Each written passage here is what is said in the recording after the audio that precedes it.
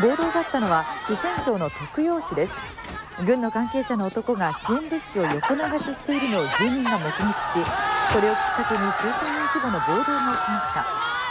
地元当局は横流しを認め男を処分したと発表しています。一方被災者からは建物の手抜き工事にも怒りの声が上がっています。我第二大就把人去，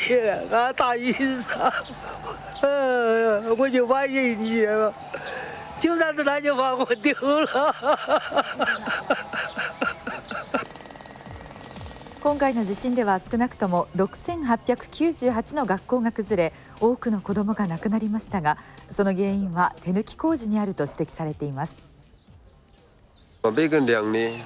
筋应该用好大的钢筋，最少是打到梁的最少是二十五的，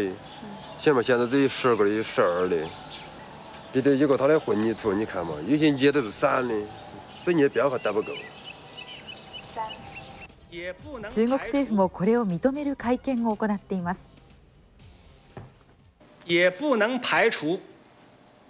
在建设的过程当中有偷工减料的情况。